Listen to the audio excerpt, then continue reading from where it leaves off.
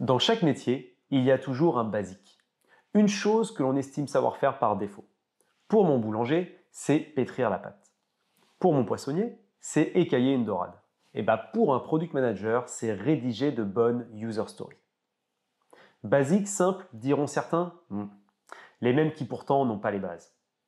Car maîtriser le découpage de fonctionnalités et savoir rédiger de bonnes user stories est un art qui demande méthodologie et capacité d'animation. Moi, c'est Antoine. Je suis Head of Product chez Tiga et ça fait 7 euh, ans que j'écris des user stories. Bienvenue dans l'effet produit.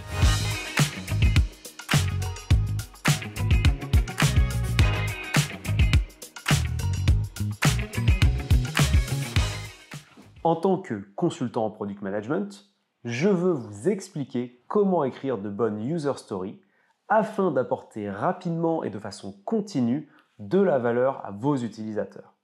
Cette formulation vous dit quelque chose Dans ce cas, vous êtes au bon endroit. D'emblée, je vous livre les trois étapes essentielles de succès que nous allons aborder durant cette vidéo et qui fonctionnent quel que soit le contexte.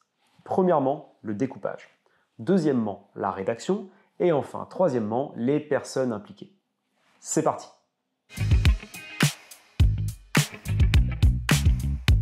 En tant que product manager, il arrive parfois de tomber sur un sujet bien trop gros pour être traité dans sa totalité en une itération. Mais pas de panique. Vous avez un compagnon de route pour vous aider à rédiger de parfaites user stories et c'est le découpage. Je vous renvoie à la définition du Larousse. Découpage. Action de découper en morceaux. Exemple, le découpage d'une volaille.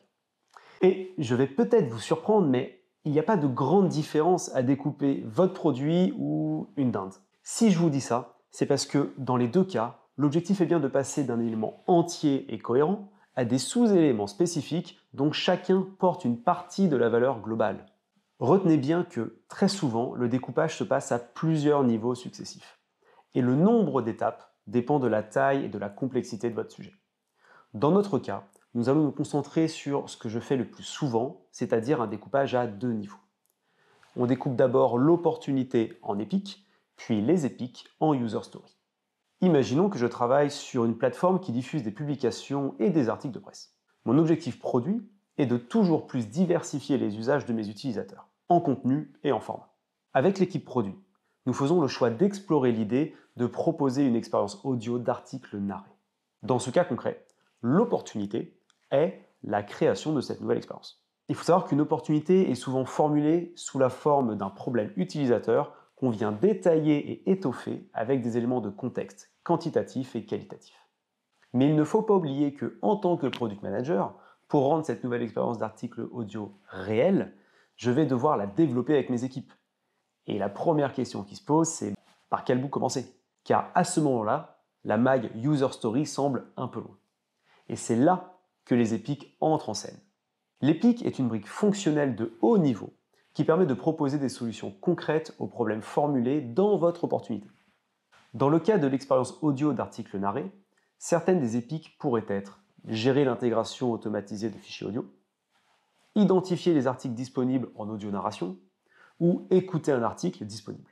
Vous devez retenir que l'épique est une unité de réalisation qui doit pouvoir être formulée en décrivant le contexte, la valeur cible pour l'entreprise et pour l'utilisateur, ainsi que le moyen de mesurer la valeur réellement apportée après l'avoir livré. Et alors ça, c'est un point crucial, car c'est cela qui fera la différence entre un fonctionnement projet et un fonctionnement produit. Maintenant, vous allez me demander, ok, mais souvent on parle de MVP, Minimum Viable Product. Il est où le MVP avec ton opportunité et tes épiques?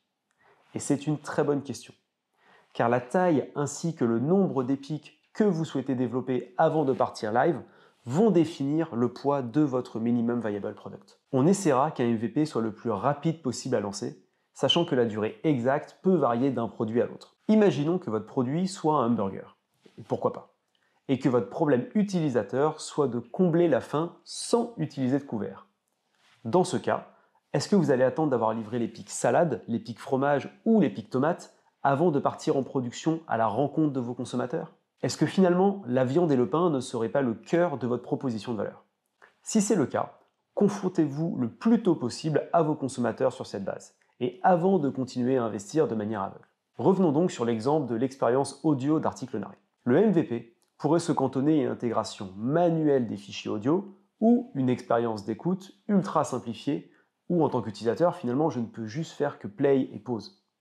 Car finalement, si mes utilisateurs ne sont pas convaincus du format ou de l'expérience audio, alors développer un player plus complexe ou toute autre fonctionnalité n'aura aucun sens. La question à laquelle nous souhaitons maintenant répondre est donc comment pouvons-nous passer d'une opportunité à plusieurs épiques pour définir le MVP et ainsi identifier les bonnes user stories à rédiger en priorité, car c'est bien de cela qu'il s'agit.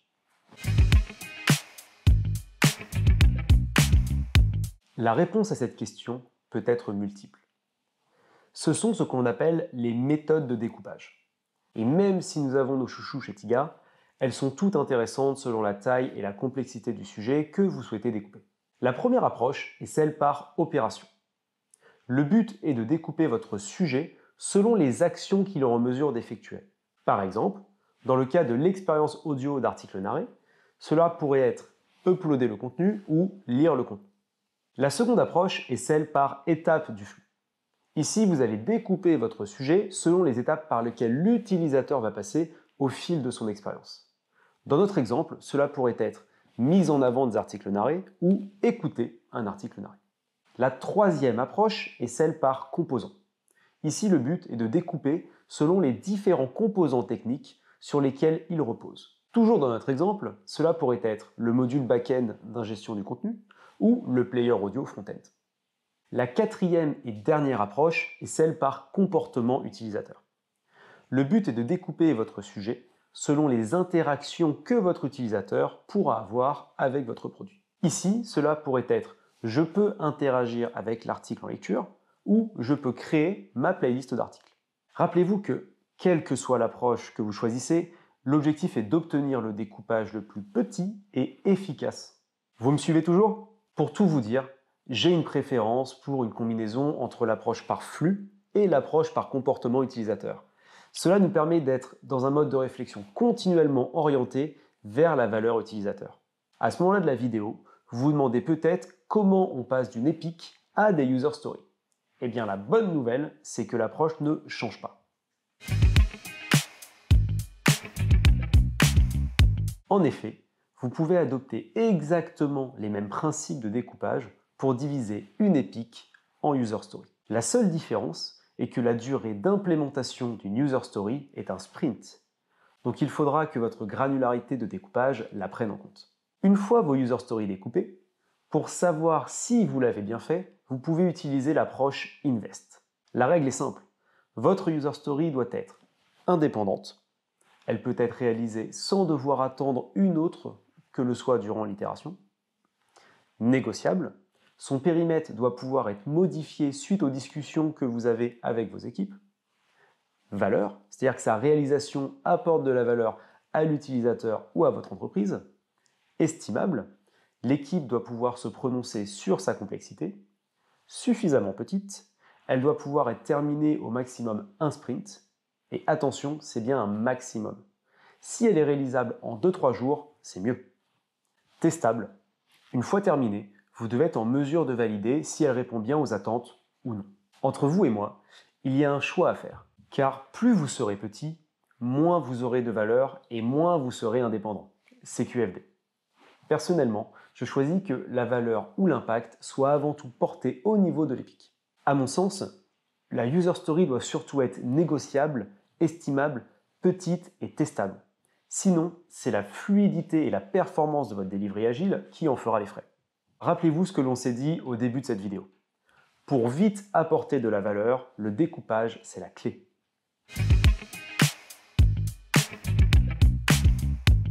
Il y a quelques années, lorsqu'on cherchait à savoir concrètement comment rédiger une user story, on tombait souvent sur ce type de message. Le bon format d'Epic ou de user story, c'est le format qui marche avec vos interlocuteurs, tant que vous gardez le bénéfice et le contexte en ligne de mire.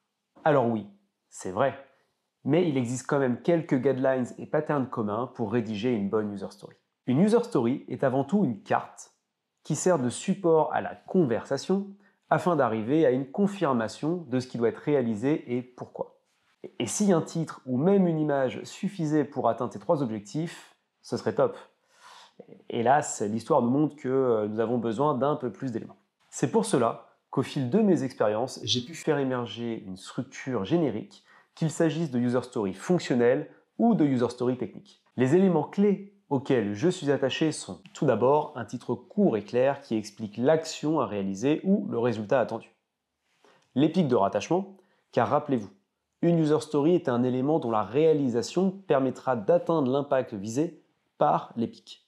Une description, que l'on formule souvent en introduction avec la phrase en tant que, je souhaite, afin de, et que l'on peut compléter avec d'autres éléments tels que le contexte dans lequel cette demande est faite. Les prérequis à la réalisation de la user story, vous y renseignez peu ou prou les éléments de votre definition of ready, c'est-à-dire des éléments tech, schéma d'architecture, définition des PI, des éléments autour de la data, plan de tagage, jeu de données, ou des éléments design tels que les maquettes, les éléments responsives ou les animations les règles de gestion, qui ne sont que les instructions et contraintes dans lesquelles une action doit amener un résultat défini. On y retrouve notamment la description des cas passants et des cas non passants. Et le plus important, les critères d'acceptation. C'est l'ensemble des conditions que la user story doit satisfaire pour être considérée comme complète et terminée. On essaye de ne pas en avoir plus de 5 par user story. Sinon, cela veut dire que la user story est trop grosse et couvre un trop gros périmètre fonctionnel. Et dans ce cas, vous savez quoi faire? Découper. Maintenant, je vais vous livrer l'un de mes tips favoris. Les meilleurs critères d'acceptation sont rédigés grâce à un langage Gherkin. C'est un langage naturel qui est historiquement utilisé pour l'automatisation des tests, car il permet de se mettre à la place de notre utilisateur et de simuler les actions qu'il pourrait faire. Dans un contexte de rédaction de user story, le Gherkin permet d'éviter toute incompréhension avec l'équipe sur l'attendu une fois que la user story sera réalisée. Il se formule de la manière suivante. Given un état initial, when je réalise une action, then j'obtiens un résultat. Dans notre cas fil rouge, l'un des critères d'acceptation pourrait être given je suis un utilisateur sans connectivité réseau, hein, ni GSM ni Wi-Fi, when je clique sur le bouton play de l'article test numéro 1, then je vois le message d'erreur, réessayez lorsque vous aurez une connexion rétablie. Et là, avec ça, vous devenez un PM au top de l'efficacité et de la clarté. Vous êtes maintenant un PM au top. Enfin, c'est pas encore tout à fait vrai. Car le PM au top, c'est que la rédaction d'une user story, cet art délicat, repose aussi sur la force du collectif. Car vous pouvez avoir le plus pur des découpages et la plus belle des formalisations, si vous l'avez fait seul dans votre coin, votre user story ne vaut pas grand-chose. Si je vous dis les tresses amigos, est-ce que ça vous parle? C'est un atelier d'affinage de votre backlog et de vos user stories qui se fait avec au moins un développeur et un QA. Le principe est simple.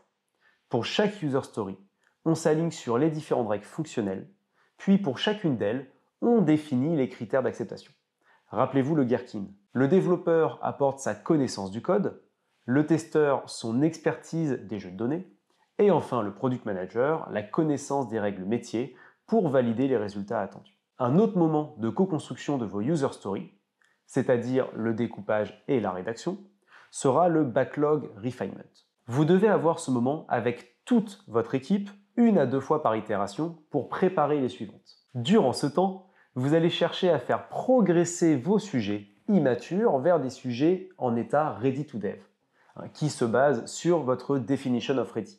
Rappelez-vous les prérequis dans la partie rédaction des user stories. Bien entendu, vous ne ferez pas passer un sujet immature en un sujet ready en une seule session. Voyez plutôt le backlog refinement comme un processus qui se déroule en continu, rythmé par vos réunions d'affinage où vous allez chercher à faire avancer vos pions progressivement. Comprenez bien aussi que c'est avant tout une responsabilité d'équipe et non uniquement du product manager de faire vivre ce refinement pour avoir les user stories de qualité qui rendent efficace votre delivery agile. En conclusion, si je vous dis comment apporter rapidement et de façon continue de la valeur à vos utilisateurs, vous me répondez en écrivant des user stories top qualité et en faisant particulièrement attention au découpage, à leur rédaction et aux personnes à impliquer. À très vite pour un prochain épisode de l'effet produit.